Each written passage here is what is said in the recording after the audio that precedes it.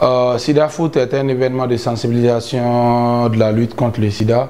Donc euh, on organise l'événement pour sensibiliser les jeunes et aussi inciter la population à se faire dépister parce qu'aujourd'hui le dépistage est prioritaire et c'est la seule solution pour se protéger contre le sida. L'idée est venue en 2011. Moi, personnellement, je participais à des campagnes de sensibilisation de la lutte contre le sida avec le partenaire au Conseil national de lutte contre le sida. Quand j'ai eu l'opportunité en 2010 euh, de voir Michel Sirbé parrainer une de mes initiatives, donc euh, vu que j'étais ami avec les footballeurs, je me suis dit pourquoi pas organiser un événement qui associe le football et le sida. Donc c'est à travers cela que l'initiative est venue. Aujourd'hui, euh, nous nous sommes dit qu'après cinq ans euh, d'existence euh, à Bamako, donc nous, nous, avons été réclamés par les, villes régionales du Mali.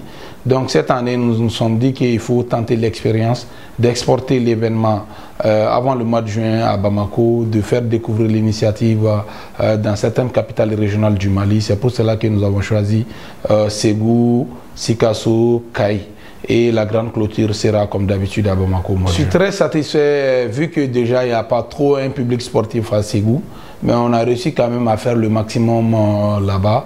L'événement a été vraiment une réussite, il y avait l'ambiance, tout le monde était content.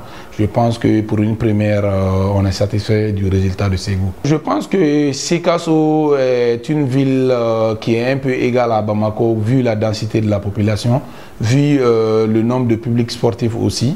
Donc nous invitons seulement la population de Sikasso à sortir massivement pour faire de cette initiative une belle réussite dans la capitale régionale de Kénédougou. Nous avons fait appel à l'international, euh, l'emblématique numéro 10 euh, des éléphants de Côte d'Ivoire, Abdel Traoré Benbadi, pour être l'invité d'honneur de Sikasso.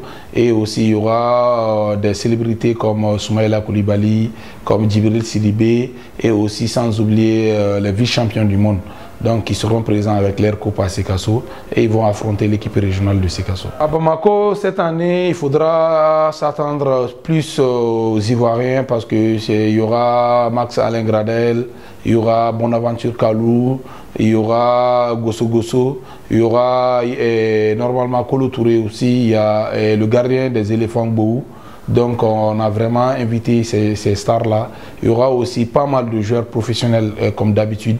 Et cette équipe euh, Sida Foot euh, sera toujours amenée cette année par Sedou Keita. L'année dernière, il était blessé, mais cette année, il est opérationnel. Et aussi, il va inviter un de ses amis à être présent. Et il y a Abib Bey aussi, il y a... l'ancien international sénégalais Lamine Diata. Donc on a pas mal de joueurs qui ont confirmé leur présence à Bamako. Donc en nous de trier avec le moyen qu'on dispose pour que l'événement soit bel à Bamako. dernière question, comment vous faites pour faire déplacer tous ces joueurs?